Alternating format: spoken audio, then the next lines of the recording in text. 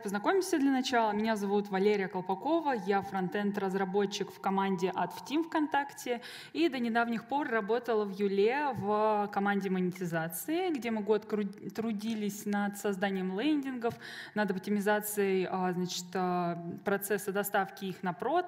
И, а, собственно, работаю фронтенд-разработчиком я два года, но я думаю, что мне есть что вам показать, рассказать и, собственно, погнали. О чем мы сегодня будем говорить? Во-первых, поговорим поговорим, для кого интересен этот будет доклад. А также расскажу, что такое лендинги, вообще для чего они нужны почему они такие важные для нас были. Вот. Посмотрим на один из кейсов а, Юлы, с которыми мы столкнулись. А также поговорим про проблемы и про, не, про их решение.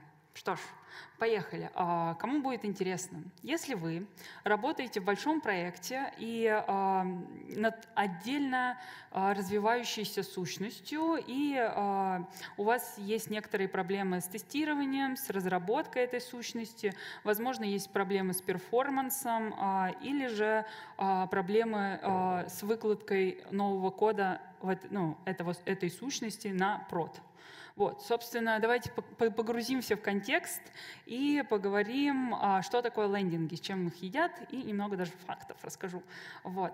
В общем, а, вот так выглядят лендинги. Лендинг — это несколько экранов с интерактивом для пользователя, с а, внедренной туда, туда рекламным контентом. Собственно, первый факт о лендингах. Лендинги открываются в WebView в приложении Юла у нас. Вот. И а, второй из фактов приносит большой доход. Хоть а, и время жизни их достаточно мало, оно длится от недели до месяца. И один из самых главных фактов — это то, что а, лендинги, они должны быть податливыми, гибкими к изменениям. То есть к вам может прийти раз, а, заказчик и сказать, у нас произошел ребрендинг, нам, мы поменяли там корпоративный цвет с красного на зеленый, и надо лендинг подправить. Вот. Вот, и вы соглашаетесь, естественно. А, что ж, с чем может столкнуться каждый? А, представьте, к вам приходит PM или э, заказчик, в общем, кто-то вас очень-очень спросит сделать а, лендинг и очень быстро. Собственно, дают на это много денежек, и вы говорите, окей, поехали. Что ж, а, давайте вместе с вами пройдемся по тому флоу а, а, разработки этих лендингов, с которыми мы, собственно, и а, начинали. Во-первых, а, так вот, а, первым делом мы а, где-то в недрах Юлы находили эту маленькую папочку с лендингами нашими. А, создавали еще одну с новым названием этого лендинга. В общем, начинали добавлять к нашему проекту различные стили, а, возможно, даже не юловские, а стили от заказчиков а, также были э, у PM очень крутые идеи и механики.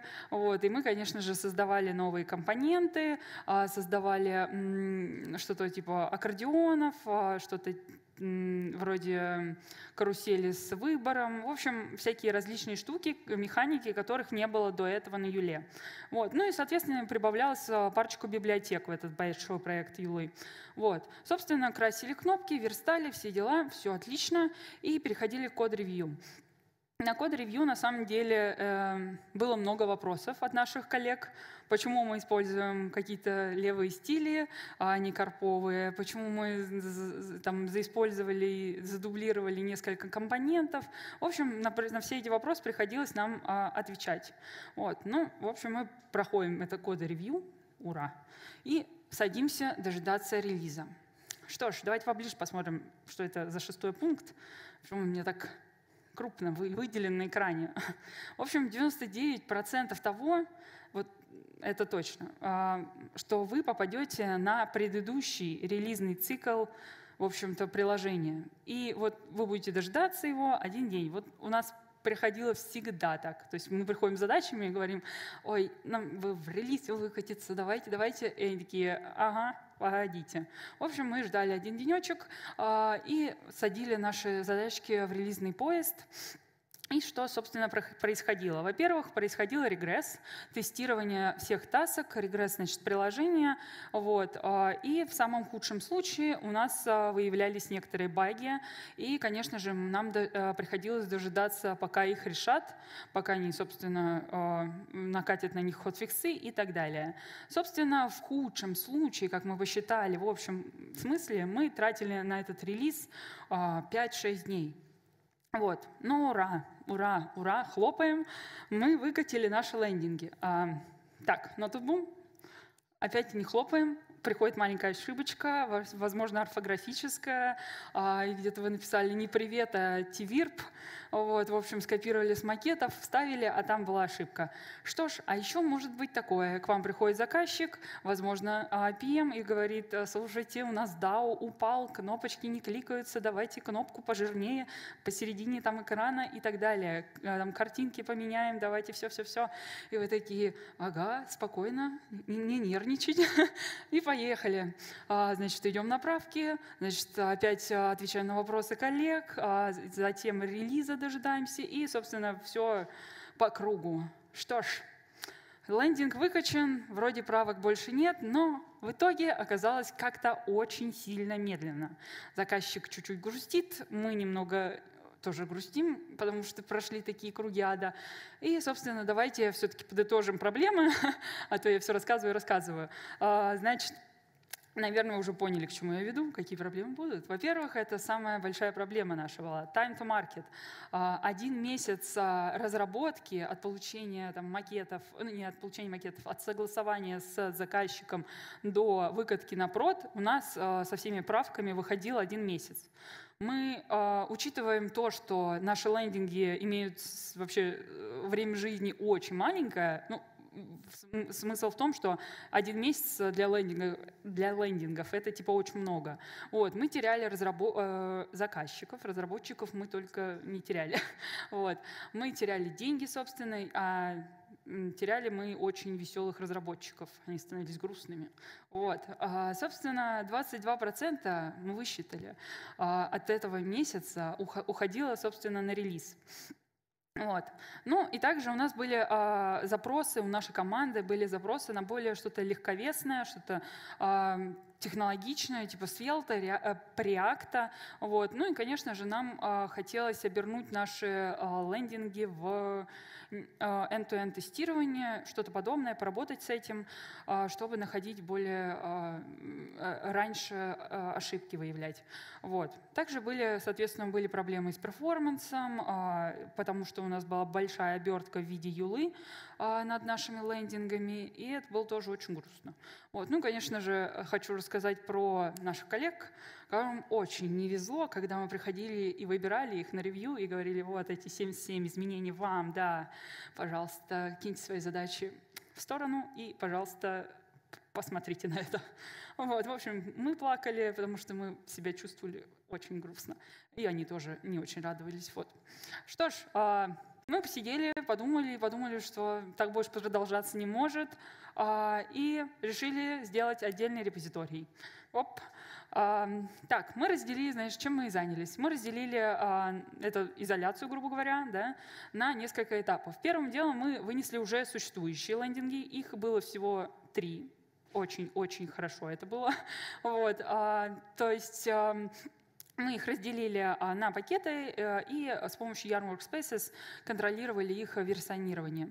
Вот. А, также мы настроили сборку с помощью многим известного GitLab CI. Здесь, как вы видите, один из шагов деплоя у нас end-to-end тестирование. Собственно, да, мы его действительно смогли а, заиспользовать, а, накатить эти тесты с помощью Cypress благодаря тому, что а, удачно выбрали архитектуру и выделили наши лендинги под друг от друга отделили. Вот. Также мы не забыли сходить на бэкэнд и поправить наши engine конфиги. Что ж, давайте чуть поближе посмотрим на них, что здесь происходит. Во-первых, нам приходит ссылка на э, наш лендинг. Вот. И мы ее мэчим с нашей доктриной, на которой у нас э, захардкоженное название этих лендингов. Вот выделила синеньким. Что ж, наверное, если кто-нибудь из бэкэндеров здесь, stack, что-нибудь такое, возможно, у вас уже возникли мысли, почему это плохо. А, и почему нас никто не остановил, тоже хороший вопрос. Так вот, мы это выкатили и получили такую вот проблему. Каждый раз, когда мы создавали новый а, лендинг с новым названием, нам приходилось бежать в эти конфиги а, и хардкодить еще одно, в общем, менять конфиги, собственно. Вот. Чем это было чревато? Во-первых, 50 э, случаев, в 50% случаев мы приходили на эту ссылку и такие, а почему у нас ничего не работает? А мы такие, ага, мы забыли поправить конфиги, блин, блин, блин, ладно, побежали обратно э, в Nginx и запихнем туда новые э, названия лендингов. Вот. А во-вторых, одна из самых грустных проблем была, это то, что нам приходилось дождаться релизного цикла бэка. Здесь хочется отметить, что а, релиз бэка и релиз а, веба на Юле, он у нас проходит, собственно, а, в одно и то же время. То есть нам приходилось, опять же, если веб упал, то нам ждать надо 5 дней. Там, ты -ты -ты. Вот, в общем, та проблема была очень актуальна. И мы решили унифицировать наши лендинги. Наверное, как и стоило бы сделать первый раз, вот, но мы с таким не работали до этого. Вот, поэтому мы решили во второй итерации уже а, унифицировать и прибавить к нашим лендингам а, некий префикс в виде SP.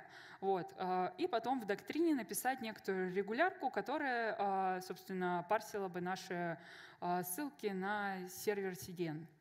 Вот. Ну и вернемся к нашему значит, репозиторию отдельному. Что из последнего мы сделали? Это перенесли используемые сервисы.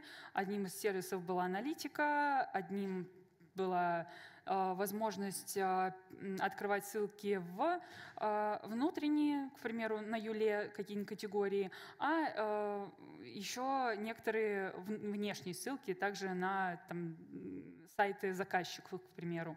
Вот. Ну и третье, естественно, мы сделали сервис, который ходит за пользовательскими данными в значит, а, в приложение. Так как на WebView, а здесь ну, хочется пояснить, да, почему, зачем вообще это надо. Так вот, здесь хочется пояснить, что на WebView изначально нет данных о пользователе никаких. То есть приложение это хоть там, знает, что там авторизирован пользователь, или он не авторизирован, зашел он под ВК или не под ВК. В общем, всякие различные штуки. А WebView как раз-таки об этом не знает. Вот. И нам необходимо с WebView делать запрос на, а, в приложение, где мы будем а, получать а, ответ в виде GVT токена, который, собственно, и будем использовать как пользовательские данные на WebView. Вот, что мы, собственно, и сделали. Ну, на самом деле, а, это одни из а, таких глобальных этапов, и, наверное, вы спросите, насколько долго здесь вообще это все проходило, может быть, там месяц, я не знаю, у кого какие догадки могут написать там в чатик. Вот. А. Ну, и, наверное, я вас может быть, удивлю, не знаю. В общем, а, нам удалось а, все провернуть это, выделить наши лендинги всего за спринт. Что ж, ну и какой профит мы с этого получили? И получили ли вообще? Давайте посмотрим. А, значит, что изначально у нас было проблемного? А, во-первых, месяц разработки, конечно, никому очень не нравился совсем. Вот. И мы, конечно же, вот когда выделили наши лендинги в отдельный репозиторий, мы смогли а, избавиться от, то есть не зависеть от релизного цикла большой Юлы. То есть мы сказали web сами, а мы с лендингами, собственно, самостоятельно будем выкатываться хоть каждый день, хоть пять раз на дню, дожидаться там пайплайнов и хоть все любые изменения без проблем улетят там за один день. Вот. Также ограниченный стек технологий перешел в то, что сейчас мы пишем наши лендинги на Preact, более легковесном, то есть э, там, 3 килобайта он занимает, и вообще у нас подрос TTI, ой, нет, он у нас не подрос, а наоборот упал, потому что это time to interaction, не помню, время всегда должно падать. Так вот, и, конечно же, сейчас мы обернули наши лендинги в а, end-to-end тесты сквозные а, с помощью Cypress. Что ж, насчет проблем с перформансом мы также немного выкрутились, так как избавились от а, большой прослойки юлы и, собственно, опять же, перешли на Preact. Вот. Здесь мы уменьшили э, количество неиспользуемого кода на 20%. Э, и, конечно же, хочется сказать про наших коллег. Э, теперь, сейчас мы можем, имеем возможность выбирать тех людей для ревью, которые действительно понимают, что это был за что это за проект, что это за код. То есть мы имеем возможность выбрать тех людей, которым мы готовы передать наши, наш код на ревью. Вот. И небольшой вывод ко всему тому, что я сейчас рассказала, это то, что дробить проект на самом деле не страшно. А, ну, вот то, что я вам показала, это ну, действительно а, те, те а, как сказать, этапы, которые, на которые мы раз, смогли разбить нашу вообще вот эту изоляцию, а, так называемую, и смогли поэтапно, а, каждому дав задачу на на этом этапе сделать ее более упрощенной. Вот. И, конечно же, чем раньше вы сможете сделать шаг назад от кода и посмотреть на более глобальную, обширную проблему, а, на вашу, допустим, сущность, на тот кусок кода, над которым вы работаете, и понять, что она действительно не подходит под тот большой проект, нуждается в релизах постоянных, нуждается в правках, то есть а, мало зависит от а, большого проекта, тем быстрее и лучше вы сможете ее изолировать. И, конечно же, небольшой посыл, взвешивайте свои нюан, э, все риски, нюансы своего проекта и дерзайте. А на этом у меня все. Э, благодарю за внимание.